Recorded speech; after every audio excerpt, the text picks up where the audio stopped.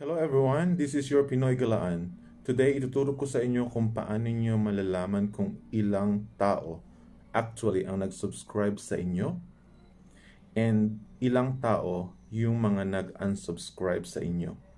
Maybe um, after nila mapanood yung video, hindi nila nagustuhan, so in-unsubscribe kayo.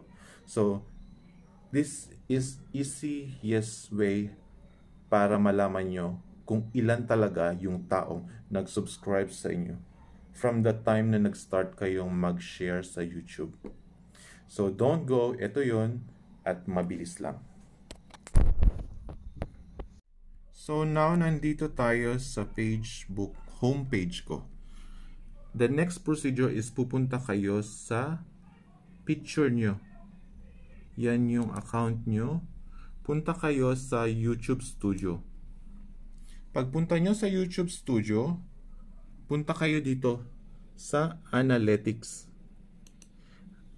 Analytics records everything that's going on inside your channel. So, dyan sa Analytics, baba kayo ng konti. Ayan. Makita mo yung see, see more. So, ayan. Yan yung nasa loob dito mo maki ito yung ano, ito yung data na makikita mo lahat ng nangyayari sa sa YouTube channel mo. So ang gusto kong i-share sa inyo yung subscription source. Ayan. Kapag itong subscription source clinic nyo, makikita nyo dyan kung ano yung nangyari sa mga subscriber nyo. Dumami ba yung subscriber mo? Retain ba? Balance ba? Or marami bang nag-unsubscribe sa'yo? So, kukuha tayo ng maraming data and papalitan natin yung date. Ito. Yung date dito, magsiselect tayo. Pwede nyo piliin lifetime or what, whatever you like. Last 360 days, 90 days, 20, 80, 20 days. I will choose this one. Last 28 days. Ayan. Yung sa last 28 days, ito yung figure niya. Ito. Ito yon. Yung total ng tao na nag-subscribe sa akin is 882. Yan yun sa ano in 28 days ha. And then yung tao na nag-unsubscribe sa akin ito naman yun. So 263 sa 263. Yan. Sa 882 na subscriber, sila yung mga taong sinubscribe ko at yung mga taong kagaya ng mga kaibigan ko na hindi naman na nag, nag YouTube. So, nandyan.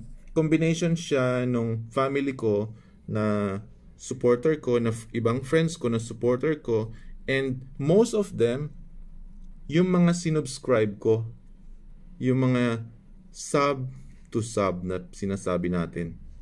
'Di ba? Yan 'yun.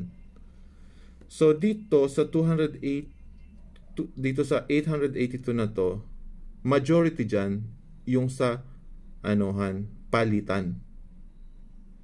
Pero hindi lang 200, hindi lang 882 yung mga yun. 1,000 sila, 1,000 nasa 1,000 plus.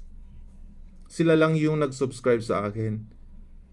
Tapos, out of this, 882, ito yung 263 ang nag-unsubscribe. Sa more than 1,200